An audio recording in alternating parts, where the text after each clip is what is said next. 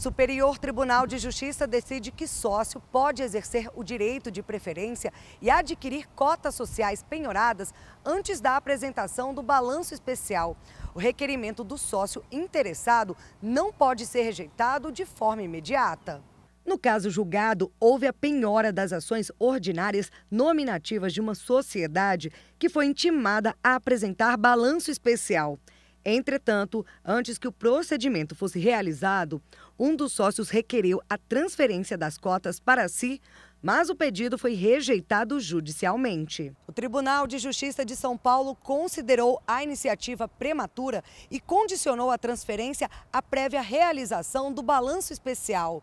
No STJ, o sócio sustentou que poderia depositar o valor correspondente às ações penhoradas e postular a transferência imediata, independentemente do balanço a ser feito pela sociedade. A terceira turma deu parcial provimento ao recurso especial e determinou ao juízo de primeiro grau que intime a sociedade empresária e os demais sócios para se manifestarem quanto à intenção de compra.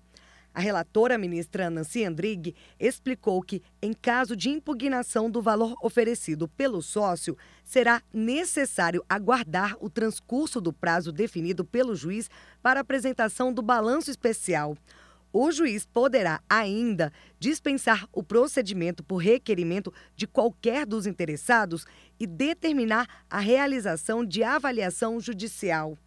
Não havendo impugnação quanto ao valor ofertado, o sócio terá preferência quanto à transferência das cotas à sua titularidade.